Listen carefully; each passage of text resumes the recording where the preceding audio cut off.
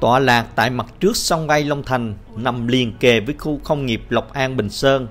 Thửa đất 3,5 hecta có một mặt giáp với đường giao thông và một mặt ôm trọn suối Bân Môn.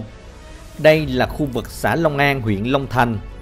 Thửa đất nằm kế cận khu công nghiệp Lộc An Bình Sơn và khu tái định cư Lộc An Bình Sơn.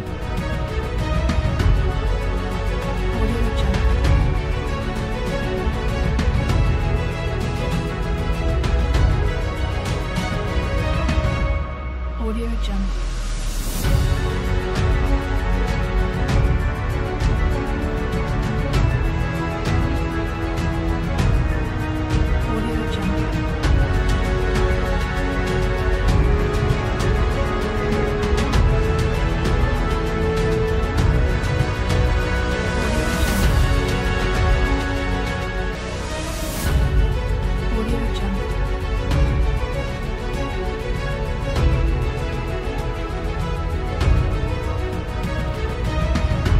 Khu vực này là điểm giao rất nhiều huyết mạch giao thông.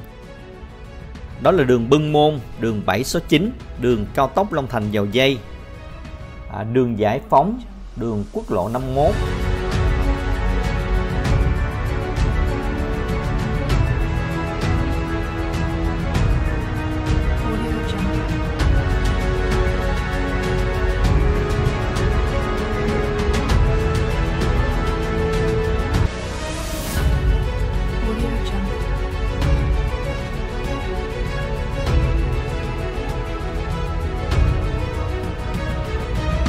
Cửa thửa đất được kết nối với đường 7 số 9 qua đường nhánh của đường Bưng Môn cũng như là kết nối với đường quốc lộ 51.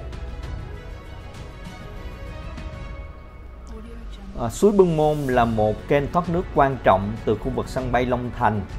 À, nó được kết nối từ tuyến đầu của hồ điều hòa trong sân bay và ra hướng quốc lộ 51. Hiện nay suối Bưng Môn đang được nạo vét và thi công mở rộng. Thửa đất này có tổng diện tích là 3,5 hectare à, với giá chào bán là 3,5 triệu trên một mét vuông. Anh chị quan tâm về thửa đất này xin vui lòng liên hệ các số hotline. Tuấn sẽ cung cấp các thông tin cho các anh chị.